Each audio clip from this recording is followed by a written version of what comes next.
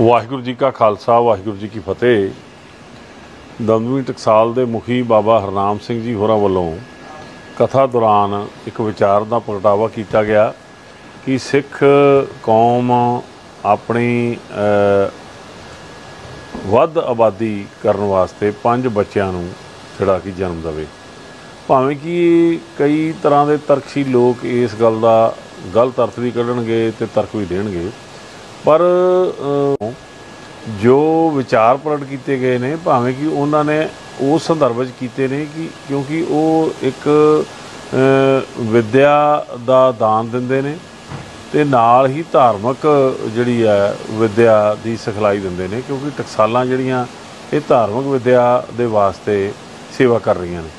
ਤੋ ਉਹਨਾਂ ਦੇ ਵਿੱਚ ਅੱਜ ਕੱਲ ਬੱਚਿਆਂ ਦਾ ਰੁਝਾਨ ਘੱਟ ਹੈ ਤੇ ਅਸੀਂ ਦੇਖ ਰਹੇ ਹਾਂ ਕਿ ਧਾਰਮਿਕ ਤੌਰ ਤੇ ਪ੍ਰਚਾਰਕ ਰਾਗੀ ਢਾਡੀ ਗ੍ਰੰਥੀ ਸਾਹਿਬ, ਪਾਠੀ ਜਿੰਨੇ ਆ, ਉਹ ਅੱਜ ਕੱਲ ਗਿਣਤੀ ਘਟ ਰਹੀ ਆ।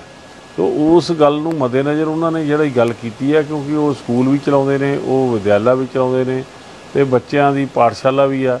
ਤੇ ਉਹ, ਉਹਨਾਂ ਨੇ ਇਹ ਗੱਲ ਕਹੀ ਹੈ ਕਿ ਬੱਚੇ ਵੱਧ ਤੋਂ ਵੱਧ ਪੈਦਾ ਕਰੋ, ਜੇ ਤੁਸੀਂ ਨਹੀਂ ਸੰਭਾਲ ਸਕਦੇ, ਤਾਂ ਤੁਸੀਂ ਮੇਰੇ ਕੋਲ ਛੱਡ ਦਿਓ। ਤੋ ਇਹ ਗੱਲ ਜਿਹੜੀ ਆ, ਇਸ ਤੋਂ ਪਹਿਲਾਂ ਸ- ਅਕਾਲ ਤਖਤ ਸਾਹਿਬ ਦੇ ਸਿੰਘ ਸਾਹਿਬਾਨ ਹੋਰ ਵੀ ਜਿਹੜੀਆਂ ਧਾਰਮਿਕ ਸ਼ਖਸੀਅਤਾਂ ਇਹ ਗੱਲ ਕਹਿ ਚੁੱਕੀਆਂ ਨੇ ਤੇ ਫਿਕਰਮੰਦੀ ਜ਼ਾਹਰ ਕਰ ਚੁੱਕੀਆਂ ਨੇ। ਸੋ ਇਹ, ਇਸ ਦਾ ਜਿਹੜਾ ਅਸੀਂ ਡਟਕਾ, ਡਟਵਾ ਸਮਰਥਨ ਕਰਦੇ ਹਾਂ। ਭਾਵੇਂ ਕਿ ਦਾ, ਰਾਤ ਦਾ ਜਿਹੜੀ ਦਾਤ ਆ, ਬੱਚੇ ਦੀ, ਉਹ ਤਾਂ ਗੁਰੂ ਨੇ ਦੇਣੀ ਆ। ਪਰ ਤੁਹਾਡੇ ਮਨ ਦੇ ਅੰਦਰ ਇੱਕ ਇਸ ਤਰ੍ਹਾਂ ਦੀ ਬਿਰਤੀ ਹੋਣੀ ਚਾਹੀਦੀ ਆ ਕਿ ਅਸੀਂ ਆਪਣੀ ਕੌਮ ਦਾ ਦਾ ਵਾਅਦਾ ਕਰਨਾ। ਕਿਉਂਕਿ ਇਸ ਕੌਮ ਨੇ ਜੋ ਦੁਨੀਆ ਤੇ ਸੇਵਾਵਾਂ ਕੀਤੀਆਂ ਨੇ, ਗੁਰੂ ਸਾਹਿਬ ਦੀ ਬਖਸ਼ਿਸ਼ ਸਦਕਾ, ਉਹ ਸੇਵਾਵਾਂ ਬਹੁਤ ਕਿੰਨਾ ਵੱਡੀਆਂ ਨੇ ਤੇ ਸਤਿਕਾਰਤ ਨੇ।